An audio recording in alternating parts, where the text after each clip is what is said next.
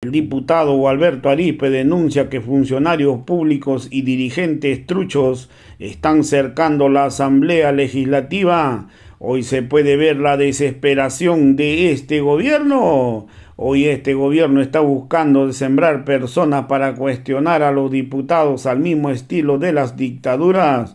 El diputado Arispe denuncia al ministro Montaño porque estaría mandando funcionarios públicos Hoy ha dicho que hay un plan, están buscando de impedir las elecciones judiciales. También ha dejado claro el diputado Aripe que no se puede demostrar que Evo Morales haya convocado a los bloqueos en Bolivia. Vamos a escuchar pasajes de esta conferencia de prensa. Poco mejor y con energías recargadas. La batalla inicia en la Asamblea Legislativa hoy día y para eso estamos presentes desde tempranas horas. De hecho, ha existido algún tipo de amenaza de cerco, como lo estamos viendo alrededor de la Asamblea Legislativa, con efectivos policiales, con funcionarios públicos vestidos de sectores sociales y obviamente algunos dirigentes truchos que ya también están tramitando sus pases para ingresar a la Asamblea Legislativa. Vemos en el gobierno una actitud de desesperación, una actitud de miedo, una actitud totalmente de nerviosismo. Están jugando ya a la agresión a los diputados y diputadas, senadores y senadoras que constantemente hemos pedido el respeto a nuestra constitución política del Estado. El pasado fin de semana una agresión, bueno, verbal, a nuestro senador Leonardo Loza en el departamento de Cochabamba cuando se trasladaba a su domicilio, a su casa. Pero lo más chistoso es que esta mañana, cuando subimos al avión, esto no es una queja por si acaso, que sea claro, clarísimo para la transmisión y especial para nuestros hermanos. Pero tenemos que decir cómo están actuando. Mi pasaje era de mí el 15D, pasillo. Y bien cuando estoy entregando el, el check-in digital, automáticamente me indica que mi asiento es el 17D. Yo no dije nada, pasé nomás y les reclamé a, bueno, a, a, la persona que estaba sentada en mi asiento. Mi asiento está 15 y me muestra también el número 15. Cuando yo ya la pasada semana, es más, el anterior mes ya, ya hice mi pasaje para, para el retorno a la ciudad de La Paz. Pero ya cuando llegamos a aquí a la ciudad del Alto, por supuesto que hacen bajar de 5 en 5, ¿no? Es la modalidad ahora en el BOA. Del 15, perdón, del 15 al 20 y ahí empieza una señora, señorita, con que estamos bloqueando la Asamblea Legislativa y demás. Y quisiera que, que vean, por si acaso, también nos hemos documentado. Y es de esta manera. narco bloqueador, narco bloqueador. Claro, vive de nuestros impuestos. Nuestra producción está paralizada. Ustedes tengo que pagar. Vive de nuestros impuestos.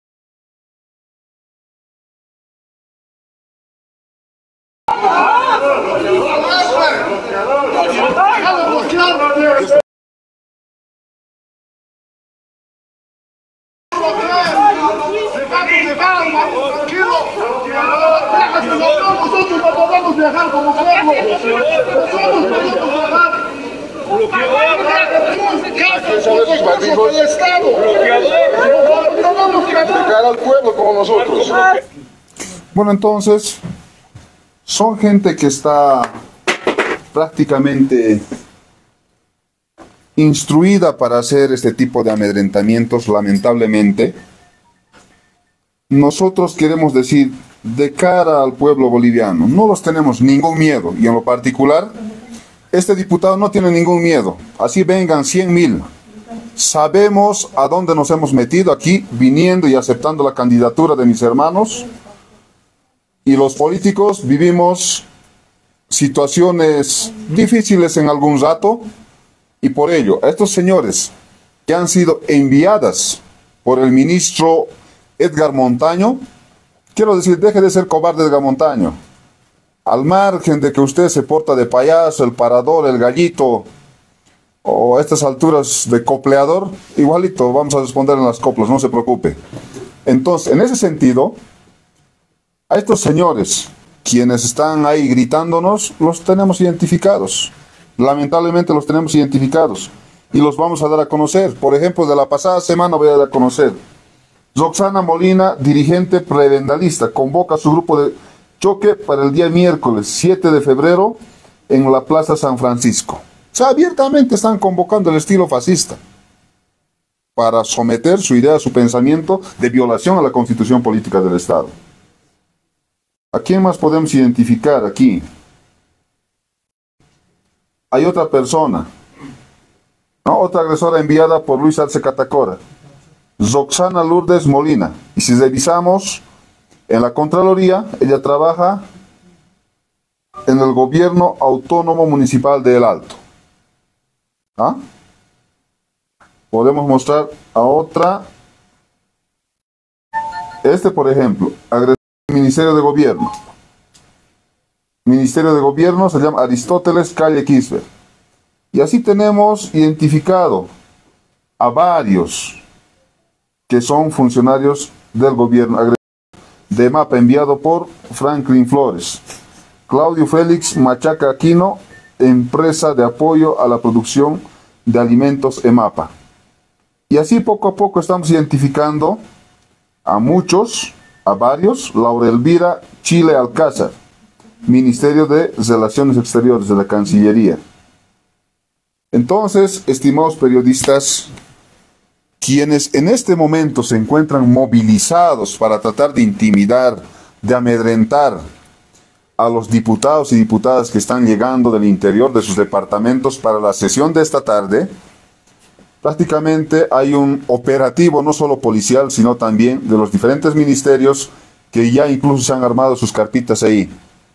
Debemos decir al pueblo boliviano, el bloqueo, las movilizaciones han sido para que se lleve adelante esta convocatoria para tratar la ley de elecciones judiciales. Ahora, bajo esa presión, ya está acordado, está firmado, pero ¿quiénes quieren aparecer como victoriosos? Los traidores, los dirigentes del falso pacto de unidad, indicando si se aprobara de manera rápida hoy día o se promulgara el miércoles como está previsto, ellos, como los que han logrado, han luchado, cuando en el fondo totalmente falso. Entonces queremos denunciar aquello al pueblo boliviano, nosotros como representantes del pueblo estaremos firmes, no tenemos ningún miedo, no tenemos ningún miedo. Quien les habla está decidido porque estamos en una justa causa buscando el respeto a nuestra constitución política del Estado y así lo haremos. Si tienen algunas consultas, por supuesto que vamos a responderles. Adelante. La sesión de esta tarde está garantizada a las 18 horas. El diputado Cabeza señalaba hoy eh, por la mañana que no estaría garantizada porque el gobierno no estaría, cumpliendo con eh, sus compromisos. Hay las condiciones, eh, la bancada evista va a estar presente esta tarde, diputado. Desde luego, nosotros estamos ya acá en la ciudad de La Paz. Algunos seguramente están descansando en sus eh, domicilios o cuartos alquilados que tenemos aquí en la ciudad de La Paz, porque ya esta advertencia hemos recibido. Algunos incluso se vinieron por tierra. En el caso particular, nosotros no lo hemos hecho. Teníamos información de que... Eh, se venían este tipo de amedrentamientos en el aeropuerto, pero no hay ningún miedo. Eh, si bien hay esta, este cerco que se tiene a la Asamblea Legislativa, es prácticamente es por querer obstaculizar, de repente querer suspender, o en el tiempo del tratamiento en pleno, dar un cuarto intermedio y por supuesto para respaldar estarían estos funcionarios movilizados alrededor de la Asamblea. Entonces, tenemos que decir al pueblo, hay un compromiso que firmaron el gobierno a través de Jerjes Mercado, a través de Jauregui, ahora cumplan su palabra. Después de lo acordado, yo creo que no hay ni siquiera discusión. una vez se instale la sesión de esta tarde para tratar la ley 144. ¿Qué tendríamos que discutir? Diputado, ¿en qué queda la, la prórroga de mandato de las autoridades judiciales? ¿Será que eh, existe garantía de tratar las 73 y 75 luego de la aprobación de la ley de? A ver, en este tema queremos de repente ser más serios, no adelantarnos mucho al tema, porque primero en el acuerdo está el tratamiento de la ley 144. El trucho, el, los ex autoridades del Tribunal Constitucional ¿Qué nos mandaron el día martes? Un auto 034 que indicaba dentro de la elaboración de la 144 se respete y se incluya la resolución que nos enviaron o que sacaron eh, el 030, perdón, el 049. Esa situación por la comisión no ha sido tomado en cuenta. Así como ustedes también lo han visto en el artículo 3, en la fundamentación jurídica en el que se basa en la, elaboración de la 144. Estaba en el inciso G. Por tanto, no está contemplado el pedido de la autopróloga en la 144.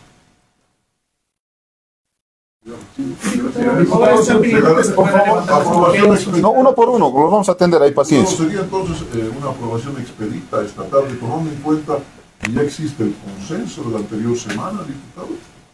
A ver, por lo menos, si hablamos en palabras serias, con compromiso, tendría que existir aquello, después de la firma de los participantes en esta reunión o mesa técnica de diálogo que se ha eh, encarado la pasada semana, se tendría que aprobar sin ninguna discusión, porque no lo existe, ya lo han hecho nuestros representantes en este diálogo que se ha tenido.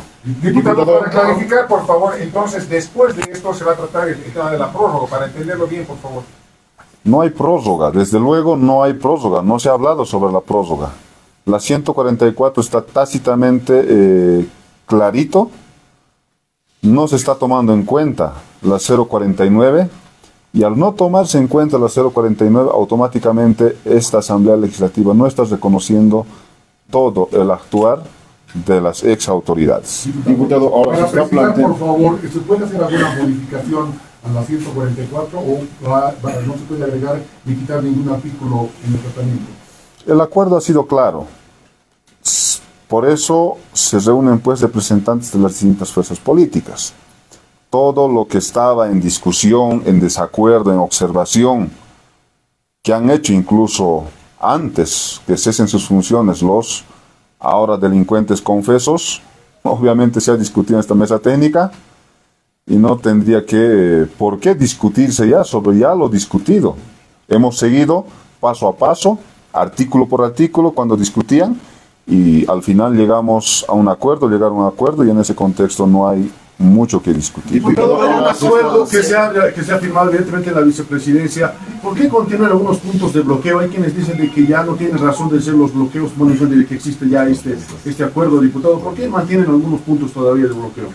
A ver, nosotros hemos escuchado a nuestros dirigentes que están en los puntos de bloqueo claramente y lo hemos ratificado nosotros, solamente lo que dijeron ellos. Con la ley promulgada vamos a retornar a nuestras casas. Entiendo que bajo esa premisa continúan las movilizaciones y a partir del pronunciamiento de los truchos, con más razón todavía. Fíjese, el cerco para qué es? Para perjudicar. Y antes, obviamente, se están organizando y creo que esto va a ser más radicalizado todavía, porque lamentablemente el gobierno está jugando con fuego y este fuego ya está por encenderse. Diputados, están responsabilizando a Evo Morales por estos bloqueos. Dicen que luego de, zanjar esto de la ley van a iniciar procesos penales en contra de él. Los bloqueos, diputado.